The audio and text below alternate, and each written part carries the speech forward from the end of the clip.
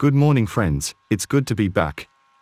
Today we are set up at a beautiful bay called Christmas Beach. It is located on Herald Island, which is in Auckland, New Zealand. Here, the bay drops straight from grass to deep water, making it perfect for locals to launch their boat.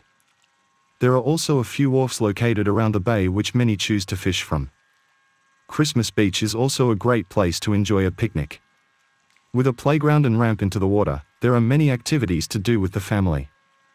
Many locals enjoy kayaking and paddleboarding as the inlet remains reasonably calm most of the time. If you enjoyed our video today, please leave a like or comment. Also hit that subscribe button if you haven't already,